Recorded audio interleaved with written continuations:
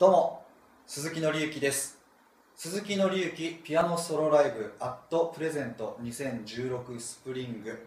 3月12日のライブ当日が少しずつ迫ってきまして準備も快調に進んでおります。今回のライブもですね、えー、僕鈴木のオリジナル曲を中心にゆったりと音楽楽しんでもらえるライブをお届けしようと思ってますので、えー、ぜひ楽しみにしていただければと思います。そんなオリジナル曲に加えましてですね前回に引き続き、えー、季節感をテーマにした僕鈴木の大好きな曲を何曲かセレクトして、えー、そちらの曲も演奏しようかなと思ってます。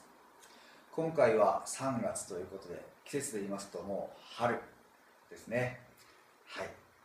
どんな曲を演奏するのかぜひ想像を膨らませながら足を運んでいただければなと思うんですがその中の1曲でですねえー、おそらく、えー、誰しもが一度は耳にしたことがあるであろう、えー、この春の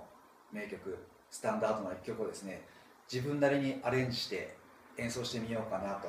そんなことも企んでますのでぜひそちらも楽しみにしていてください。それから、えこちらも前回に引き続きですね、え、ご来場くださった皆さん全員にオリジナル曲を収録しましたプレゼント CD をお渡しいたします。こちらのレコーディングをですね先日、えー、無事、えー、完了しまして、えー、完成しました、えー、皆さんに喜んでいただける楽しんでいただける CD を今回もお渡しできるのではないかなと思います。ぜひそちらもお楽しみにしていただければと思います。